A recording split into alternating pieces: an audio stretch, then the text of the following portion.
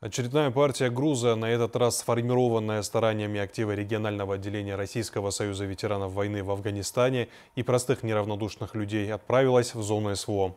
Помимо продуктов питания и предметов первой необходимости, волонтеры-добровольцы решили поддержать ребят на передовой еще и автотранспортом. Ахмат Халкечев продолжит тему. Груз собран совместными усилиями актива регионального отделения Российского союза ветеранов войны в Афганистане, а также коллективов общеобразовательных учреждений республиканской столицы и реабилитационного центра «Надежда» при поддержке Республиканского Минсомструда. Перед выездом в зону СВО участники гуманитарного конвоя провели урок мужества и патриотизма с воспитанниками реабилитационного центра «Надежда».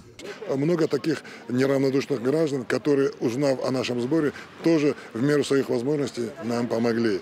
Хотелось бы им всем сказать огромное-огромное спасибо э, если не мы, то кто? Прошедшие горнила а, войны, мы должны понимать и осознавать, есть такое понятие преемственность поколений. Да? Дабы подбодрить боевой дух наших бойцов на передовой, ветераны Афгана решили лично сопроводить в зону СВО груз поддержки, который был сформирован по запросам самих военнослужащих. Помимо продуктов питания и предметов первой необходимости, волонтеры-добровольцы приобрели еще и цельнометаллический УАЗ, в народе прозванный «буханкой». Он более проходимый и должен быть менее заметным при осуществлении разведывательных мероприятий, уверены ветераны. Это уже третий раз.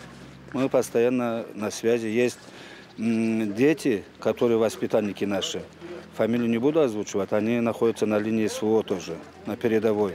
И есть э, наш сотрудник, э, который отсюда его и призвали, он тоже на линии, постоянно с ним тоже на связи.